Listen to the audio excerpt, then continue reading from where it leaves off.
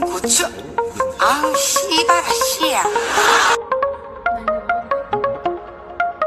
해지는 소리야. 추룩. 물회 먹고 물에 들어가는데 딸기 씨 빼주세요.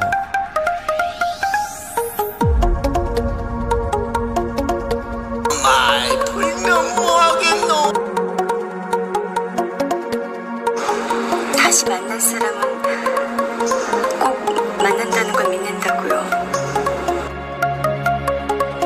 씨발아 씨. 겁나 비싸요 이 씨부를. 그저 아주 깔끔하게 잘해.